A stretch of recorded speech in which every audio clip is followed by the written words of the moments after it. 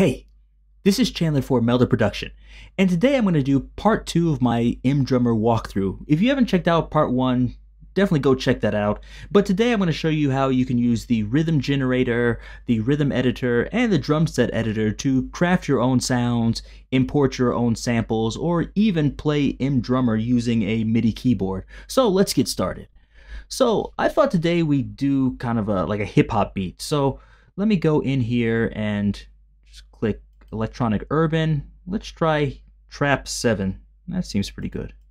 So load that up. Let me turn the volume down so it's not too loud. And of course, just like in part 1, I could load up one of these rhythms, but you're probably thinking, what if I want to control this by my MIDI keyboard? Click here where it says switch to drum pad mode, and now you can control it using your MIDI keyboard, which I have here.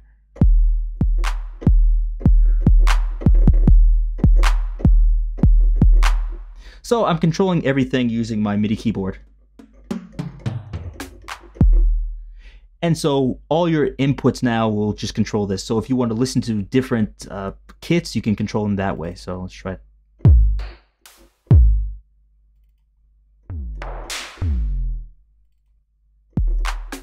Let's stick with Trap 7. Uh, that one seems the best so far. So now let's go to the rhythm edit, rhythm generator, I should say. The rhythm generator is where we can create our own rhythms and uh, like create variations with it. So click here. Now you see here, it's like a step sequencer, which is really easy to work with. I'm sure if you've used this before. And so there's a slight difference, but let's go over those uh, later. So I want a two bar pattern. This is just one bar. So by clicking one of these arrows, I can create a two bar pattern. Now, what I want to do from here is just put in my own uh, bass drum and snare drum pattern. Of course, I can just write it here if I want to, but let's record it. So click functions. First thing I want to do is turn off record replace. That's just because if you want to record just the bass drum part and then record the snare drum part, if you have this on, it'll erase everything you did before. So I'm going to turn this off so I can kind of layer the drums up as far as recording goes that is. Uh, next let's change it to like 140 and from here let's get started. So just click record and it'll play a metronome and then let's try to you know add our beat in there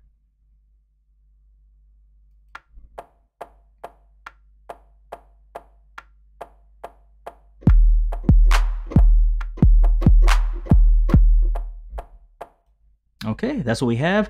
This one is a little bit too early, so I'm just going to erase that. If I go to this pin here and I right click, it'll erase it. Let's hear what we have.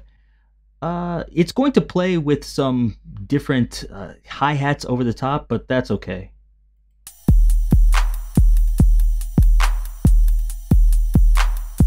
Okay, so my rhythms are kind of off. So if I just click this pointer again, highlight everything, and then click this, it'll quantize everything for me. Okay, now let's hear it.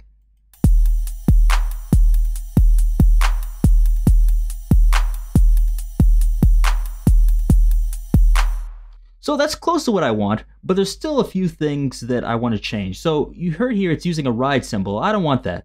Let's go to hip hop up here. And there's a bunch of different patterns we can use. Let's try empty one. Let's see what this sounds like.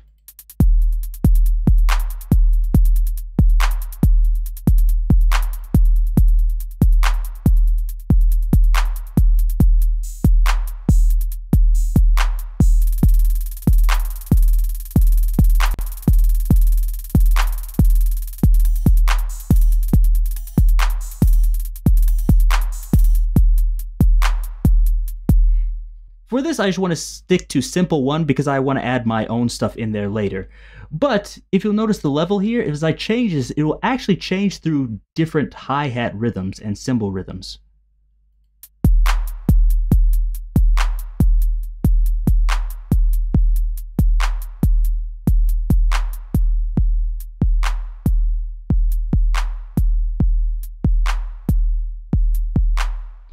So if you remember from my previous video, they had the different buttons from the quick setup for the verse 1, verse 2, and chorus.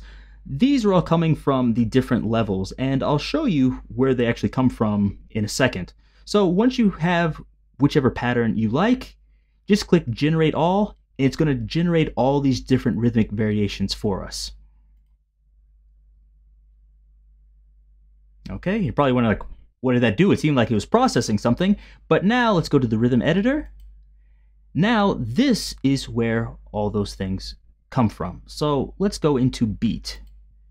So this should be what we heard before. So let's try this variation. Let's play it.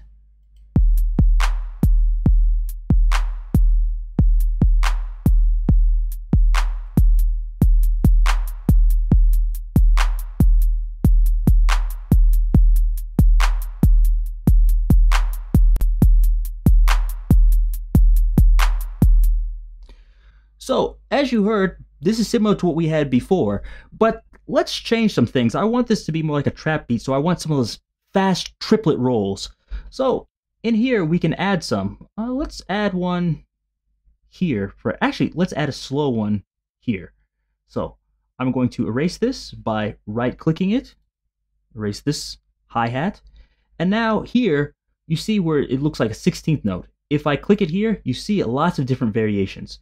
So let's try just this, the triplet. I think there's a quarter note triplet. And if you think, ah, it's too small, click this and move your mouse up and you can make it larger. So let's try something like this. Let's hear how it sounds.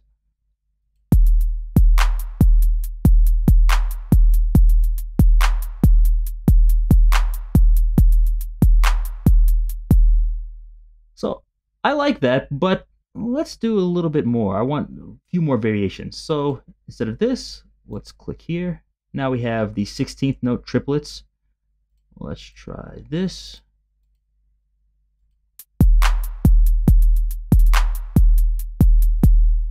I like that. Let's add a few more, some other places, see how they sound.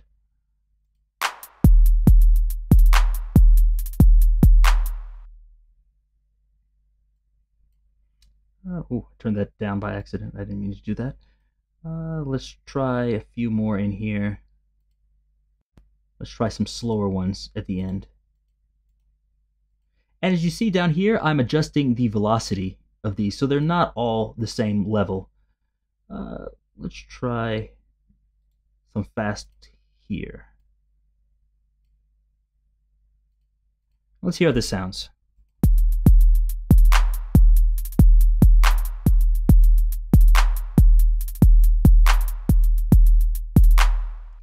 So that's basically what I want. I'd probably spend a little bit more time doing this, but I think for the most part, this is okay.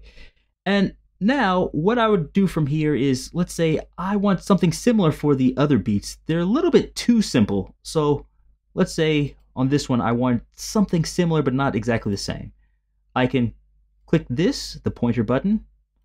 Oh, didn't mean to do that. I can double click hi-hat and it highlights everything there. Make sure this arrow is right at the beginning and click the copy button here.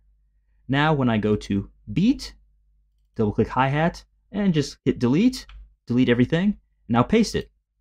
I have the same thing from here in this beat. Now, I probably want to simplify this uh, a little bit. So all I'm going to do is just take out a few things that seem a little bit too busy. So, for example, I might think this is a little bit too much. So I'll go back to the pin here. And I might add, I'll just leave that out actually. Leave this out, maybe add a slight variation there. This, and just maybe one's really soft there. And let's see how this sounds.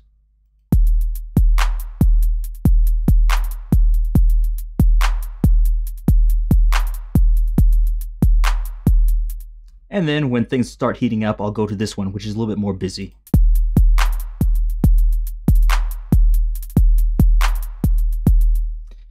And I could also do other things if I wanted to add like a, a shaker or some other hit. I could right click here and just choose insert track and I can add, you know, whatever I want. Let's say like a hand clap if I want a hand clap. So just add this here.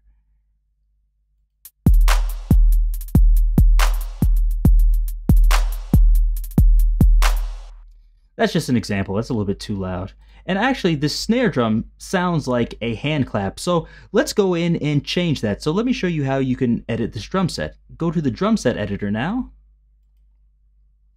And now let's change that snare drum. So you see here we have all of the different drums. So hit that and we can push this speaker icon and hear what it sounds like. Same thing for the drum. That sounds like a clap to me. Let's look here in layer generators, layers and generators. Now, you see it is actually a clap. So let's change that. Now there's a few things I could do. I could search through here for different types of synthetic snares. There's quite a few here. But let's say uh, I have a sample that I like and I don't want to do that. All I have to do is go to global and then search my hard drive, or there's actually an even easier way. Just pull it up in a window and then, ah, here's the one I want, snare soft, like an 808 snare. I just drag it over here to this window and it loads up. There's a little bit of a gap here, so let's move the start time like that and let's listen to it. That's good.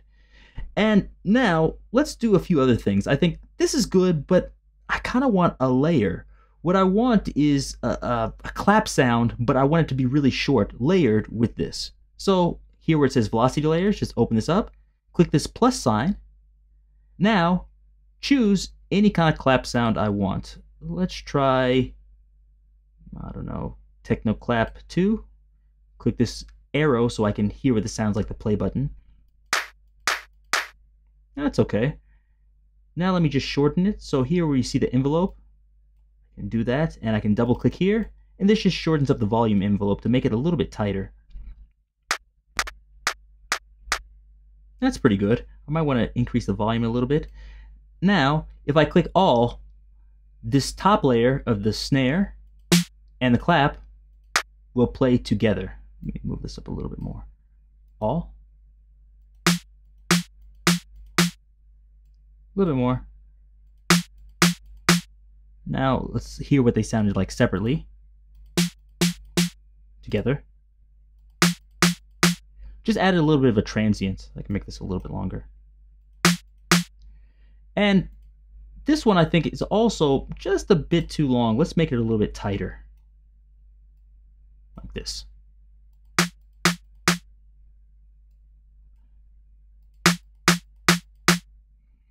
And if I think, ah, it's, I don't want them right on top of each other, I can delay this so there's just a little bit of space between the transients, like this. That's what I want. Now let's try to add some effects to this. So, as I showed in a previous video, you can use a frequency shifter to change the sound and tuning of something. What I want to do is just find this frequency shifter here. Now, what I'm going to do is I'm going to play that loop I just had by pressing F10 on my keyboard, and I'm going to solo the snare drum by hitting S. So here we go.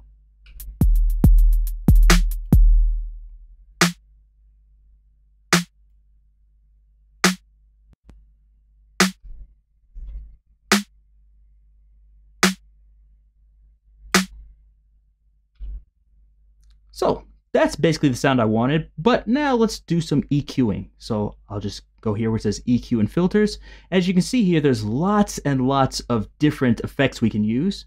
Just click the equalizer, turn on the analyzer, and let's play that loop again with the snare drum soloed and start EQing.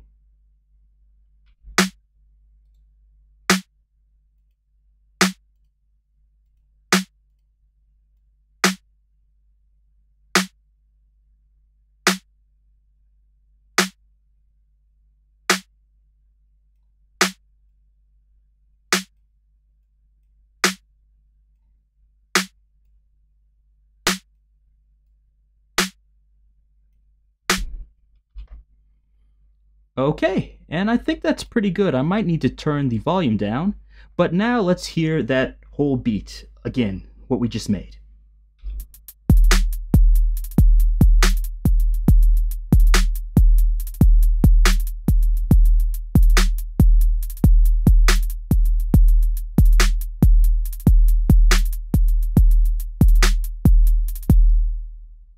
And that's basically what I wanted. You can do this with any of the other drums also, so I might think, hey, uh, let's make my hi-hat a little bit tighter. I can do the exact same thing I did before and just tighten it up like this.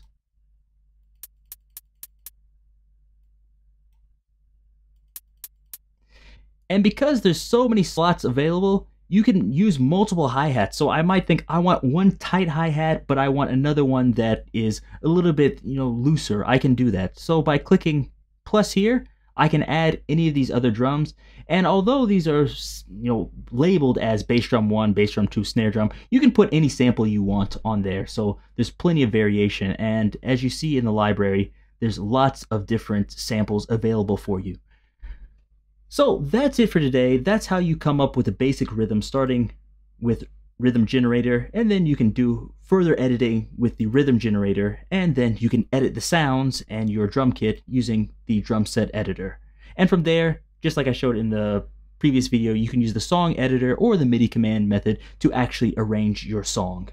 But I hope that gives you some ideas. If you have any questions, leave them below and in the future I'll try to do some other videos, but this I just wanted to have as a basic walkthrough of how you can make your own beats with mDrummer.